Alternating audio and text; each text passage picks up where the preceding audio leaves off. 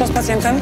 Pacjent 64 lata, nieprzytomny. Ciśnienie jest 130 na 90. Saturacja na tlenie 97%.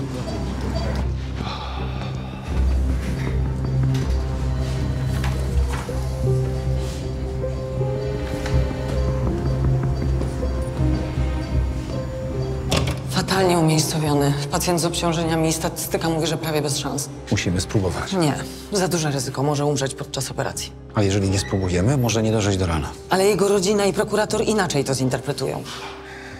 Ja tylko mówię, że jeżeli nie spróbujemy, to... Jeżeli nie spróbujemy, to on nie dożyje do rana. A ja mam dwoje małych dzieci. I boję się, że jak się nie uda, to pójdziemy za to siedzieć. Ja wiem, jest ryzyko, cokolwiek nie zrobimy, jest ryzyko, ale musimy spróbować. Cokolwiek zrobimy, będzie źle.